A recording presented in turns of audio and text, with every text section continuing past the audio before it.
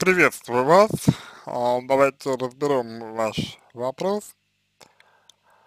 А, Первое. Это немножечко смущает постановку вашего а, текста. Вы апеллируете к опыту, нашему опыту, но работа психолога заключается именно в том, чтобы помочь вам разобраться себе. Не в том, чтобы э, делиться опытом, а в том, чтобы разобраться в себе. Это первое. Вам нужно помочь разобраться в себе. Следующий важный момент заключается э, в том, что ам, вы находитесь в ситуации сверхмотивации, э, когда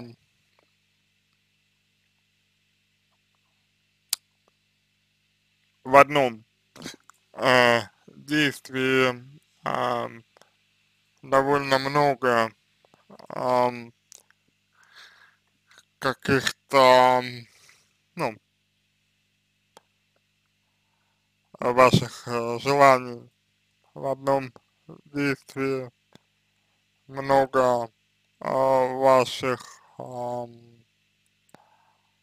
потребностей, когда с одними действиями а, связано э, слишком ну, много, что ли, да, А, вот.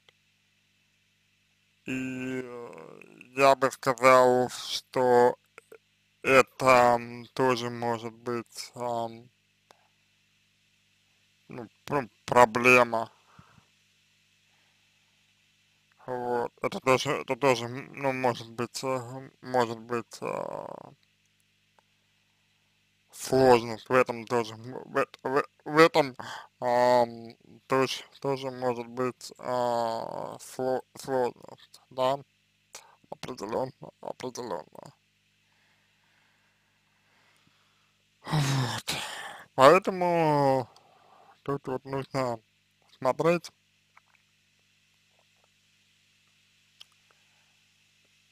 а, значит, на то, а,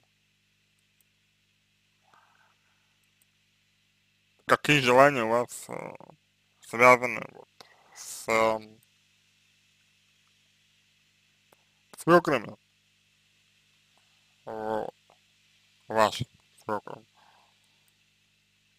И а, э, в этом направлении нужно тоже разобраться.